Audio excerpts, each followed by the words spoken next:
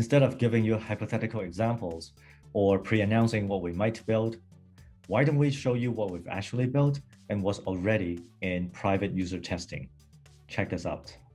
OMG Plasma offers many useful functions, for example, atomic swaps. And those atomic swaps basically allow two wallets to swap ERC20 tokens.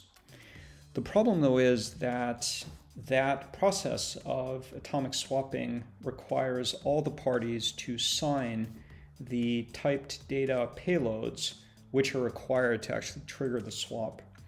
So, for example, for an atomic swap, the sender has to sign, the receiver has to sign, and whoever is paying the fees has to sign. And so that was something um, we were struggling with. And that's why we had to build a communications layer for Plasma called Hashcast. What this is, is like Twitter for computers.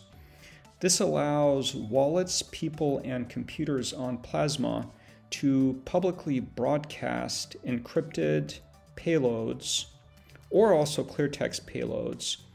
And this allows, for example, buyers and sellers to efficiently coordinate uh, signature of atomic swap transactions. To give you a real simple example, we can also use the system to broadcast simple strings like hello. Um, let's do an atomic swap. And I can now broadcast this. I have to sign this transaction because, of course, this is going into Plasma. Sign and I can now, now that's been broadcast, I can see what's been broadcast. So this is what we just entered. This is the string. In general, for an atomic swap, of course, uh, these hashcast payloads are going to be much more complicated. They won't be simple strings, but they'll be these transaction bodies that need to be signed, for example.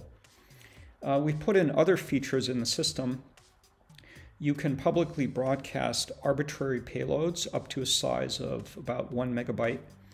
These can be things like images, audio, cryptographic payloads, or whatever else um, you would like to publicly broadcast. You can also set up channels and you can subscribe to other people's channels. This means you'll get notifications when they hashcast, publicly hashcast information.